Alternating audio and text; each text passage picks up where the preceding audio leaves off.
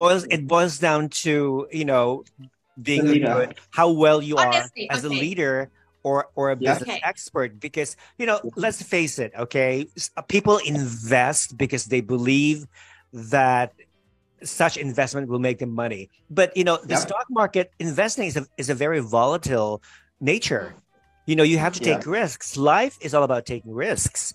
If you believe if you believe in Khun Anne, then fine. If you believe in investing in her pageantry, go ahead and spend some money and invest. If you want to go to. El Salvador and spend seven thousand dollars to watch a pageant, go ahead and invest. You know, but I think now between Mhm. Miss Universe and Miss Grand International, there more fans are actually would prefer to invest in Miss Grand because Miss Grand delivers. Miss Grand Mm. delivers. Miss Universe I mean, It's quite it's quite different. Okay, uh, like on, honestly, the foundation or the mission of what organization at the beginning, Miss Universe, you know, has another another you know kind of persona, okay, of the organization mission. All right, and uh, Miss Grand also another. Mhm. So why Miss Grand can capitalize um, profitably? right? What uh, that's what your your question, right? Or and why Miss Universe under Khun Anne couldn't? Because you know one thing, it's very hard indeed to you know to change yourself into another thing within a short period of time. Such as Miss Universe has, as I say, has their own mission, has their own belief system, and Miss Grand also has different. And Miss Grand, you know, like a new organization as well, they're nothing to lose.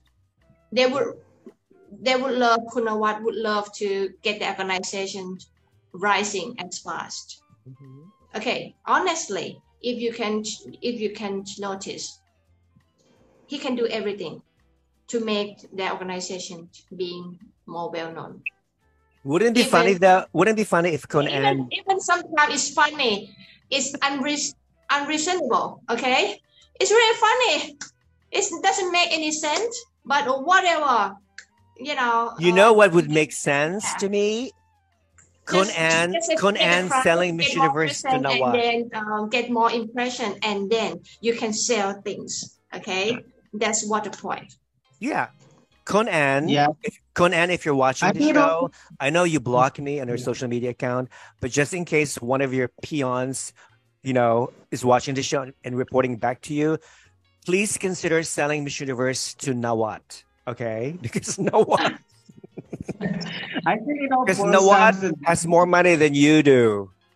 Yeah, I think because it doesn't matter. Like, yeah, I'm, I'm hearing a lot of excuses being told about ad. Like, oh, of course she's taking the risk, all of this. But I think it's all bullshit because Nawat has also been doing that since day one. And let's not forget, he's also in the stock market. I'm looking at it on the website. He is also in the stock market, the Miss Grand International Organization. So if he can do that, and he has not only because he has business background, it's because he actually has a passion research. He has been the national director for Miss World Thailand for I think five years back in 2000, and he has been doing his homework. He's not someone who just makes an announcement, a random announcement, and gives us really bad hope. You know, like he uh, he does not put us high, high expectation and gives us really bad uh, delivery, but he actually does his homework. For me, that is really important as a leader. Do not give me these random announcements from like some pages that you know Miss Universe does not even make an official announcement anymore. I'm hearing all this news and rumors from different pages saying I got this information from Khun Anne or from the Miss Universe organization. How can I verify that is actual truth? I need the accurate information from the official Miss Universe organization themselves. So for me, that's an issue. Did you read? Did you read? I don't know. I don't know if it, it hasn't been confirmed, but somebody posted. I think from uh, the Facebook page, Hello Universe Facebook page, somebody posted that Khun Anne said that the host next year in 2024